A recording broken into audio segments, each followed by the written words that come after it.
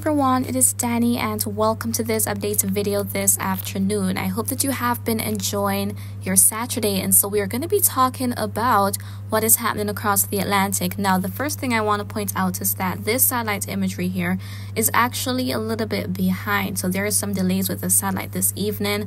And so this is from earlier this afternoon. And we can see that at the time, there's quite a bit of activity in the eastern Gulf of Mexico pushing into southeastern states, especially Florida, even for Cuba as well. We can see a portion of Cuba there and more than likely the Bahamas. And then in terms of the radar, this is indicating the rainfall activity. So when we see some of these shades of those oranges and yellows popping up that is where the heaviest rain is and the lightest shade of blue is indicating light rainfall activity so a lot of rain has been making its way into florida as well as parts of the northwestern bahamas and Cuba, as aforementioned, and even looking towards uh, near the Cayman Islands, there's a Cayman and Cayman Brac, and even for Jamaica as well, across some areas, there's been some shower activity. And then looking up, we can see that other portions of the U.S. are also experiencing some showers this afternoon. Then, as we look across other areas in the Caribbean, we're not seeing where there's any major weather system resulting in a lot of heavy rainfall right now, but some showers have been moving in from the east across portions of St. Vincent, the Grenadines, even other sections of the Lesser Antilles headed toward Puerto Rico as well. There's been some showers across some areas, not for all of the island, but there's been some rainfall moving through. But on a whole, there isn't anything too crazy happening across the region right now. However, things are going to get a bit interesting as we head into the new week because this storm system, which is currently impacting Florida and uh, is going to be increasing the risk of tornadoes as we head through the rest of today and into tonight, tomorrow morning as well, that is going to be impacting the Caribbean and it is already doing so as we saw Cuba already experiencing some periods of heavy rain. Now, in terms of what models are showing, this is the GFS model for tomorrow morning, and here we can see all these colors, especially where we have those uh, shades of yellows, oranges, and reds, indicating a lot of heavy rain moving through parts of northern Florida at the time, going to southern Georgia and the Carolinas.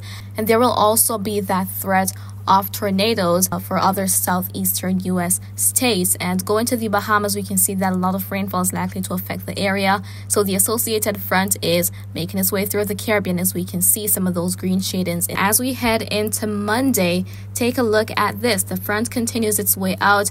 By that time, Florida, Georgia, the northern Bahamas, parts of Cuba, the Cayman Islands should be in the clear in terms of all this activity and other areas such as Jamaica will continue to feel some impacts, maybe some periods periods of some heavy downpours across the island. And also with this, winds are likely to be coming from the northeast, not only for Jamaica, but also for other sections of the Caribbean, as well as the Bahamas and the Turks and Caicos Islands as the system makes its way through. Now, with the front passing, there is a mass of cool, dry air behind it, and it is likely that the mass of cool air is going to be dipping into the Caribbean. And we'll be talking about that in a moment, but we want to look at the rainfall forecast for the rest of today, as well as going into around 3 p.m. tomorrow afternoon. So we're kickstarting things Looking at the Caribbean and surrounding areas, there we can see some of these shades of purples popping up. So just near Cuba, there could be a lot of heavy rainfall as we head through the rest of today and into tomorrow with that area of low pressure and also for sections of the Bahamas and the Turks and Caicos Islands.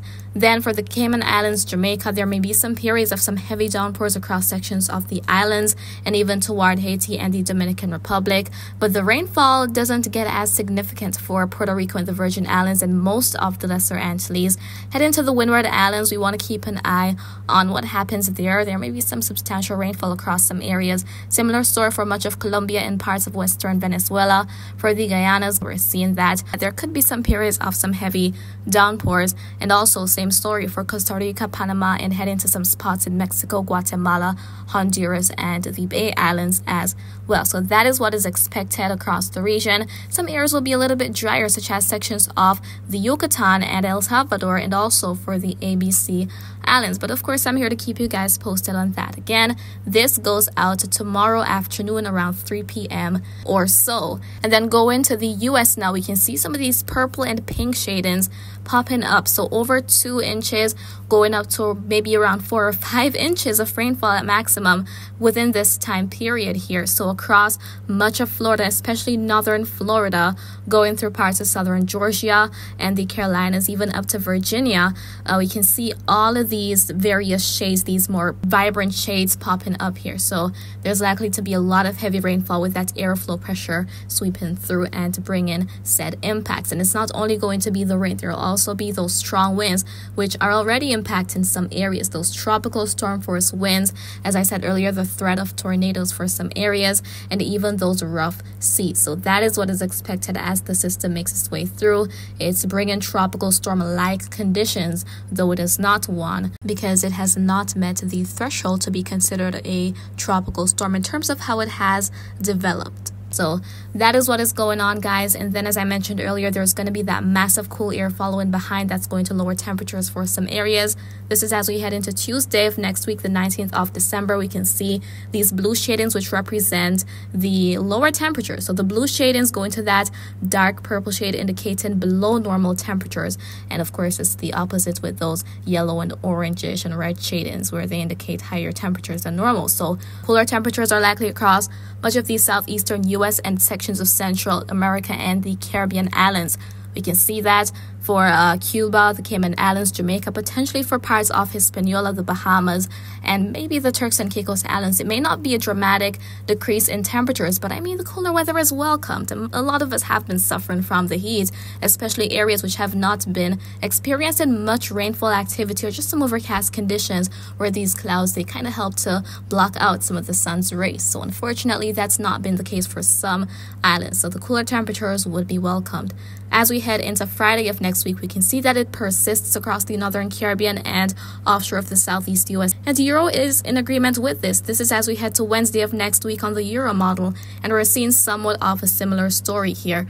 So, this is something to look forward to, guys, if you are a lover of cooler weather like myself. So, that is what is going on this evening. Please stay safe if you're being impacted by the storm system and do not take any unnecessary risks. Of course, I'll continue to keep you posted. Tomorrow's updates may be posted in the evening just as today's.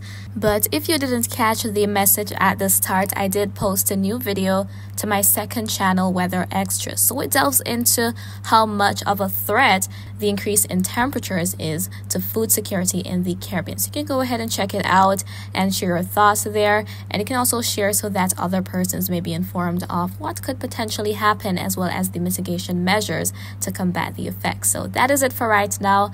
I hope that you found this video to be quite informative, but if you have any questions, please leave them in the comments. I'll respond when I can. And remember to always be weatherwise.